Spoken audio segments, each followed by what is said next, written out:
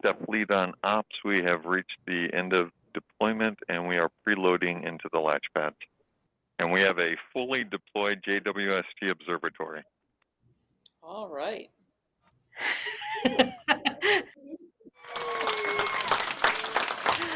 yes. Thousands of people around the world have worked on this observatory. You see here the people at the Space Telescope Science Institute in Baltimore. Be careful with the COVID uh, surge. I'm joining you from an isolated room so I can talk to you without a mask on. Everybody else is wearing their masks. You see people clapping. Yes. One wonderful. Yeah, everyone's moment. up on their feet and clapping. Today represents the beginning of a journey for this incredible machine to, to its discoveries that it will be making in the future. Um, JWST itself is an amazing mission, and thousands and thousands of people have worked on it